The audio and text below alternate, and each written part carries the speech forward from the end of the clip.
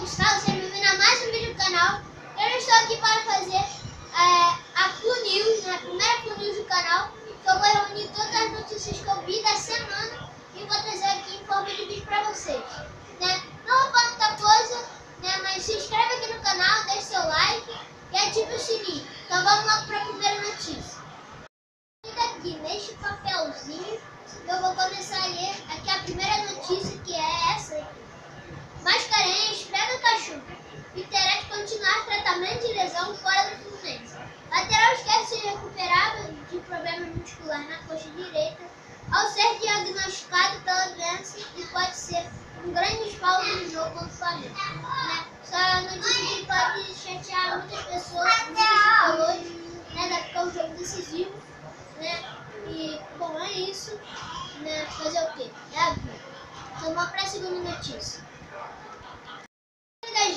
Bloqueios e penhores somam pelo menos 33 milhões de reais no Fluminense. Tricolor convive com determinações da Justiça em 2018, que comprometem receitas e aumentam as dificuldades, como atraso no pagamento salarial dos funcionários e jogadores.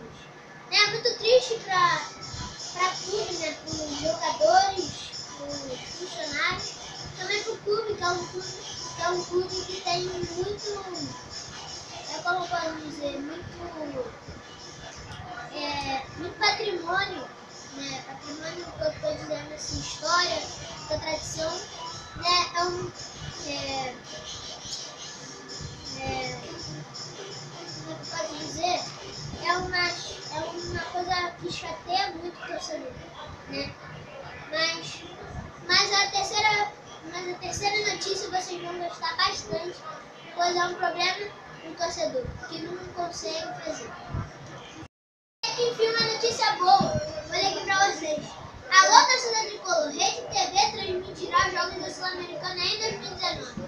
Bom, uma boa notícia, que a pessoa teria que ficar né, pagando para poder assistir os jogos, né, assinar todo, todos, todos os meses. Isso é muito chato, porque isso aí estraga muito o futebol sul-americano tem grande potência no futebol mundial. Agora vamos para a, a mais uma que alegra muito os torcedores. Vou ler aqui para vocês que pode né, fazer muita diferença no Fluminense esse ano. Efeito Gansos, o Fluminense atingiu a marca de 41.500 sócios, torcedores. O aumento de 5 mil totaliza um valor de pouco mais de 300 mil reais ao clube. Ou seja, apenas com 5 mil sócios é viável o pagamento do salário do jogador.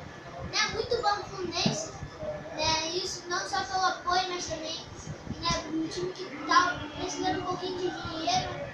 Mas é isso, muito, o, o, time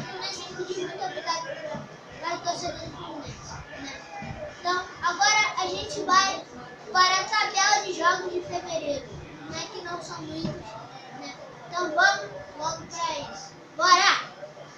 Uh!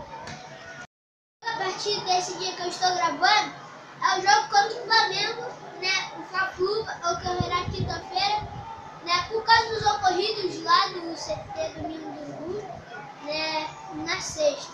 Né, muito, muita força aí para as famílias, né, lamentavelmente isso aconteceu dia 22 de fevereiro, teremos Bangu e Fluminense, Fluminense estreando pela Taça Rio e Bangu também. E dia 26 de fevereiro, teremos a Antofagasta e Fluminense estreando pela Sul-Americana. Bom, o vídeo foi esse. Se você gostou, já deixa seu like aí, se inscreve no canal e ativa o sininho. Valeu!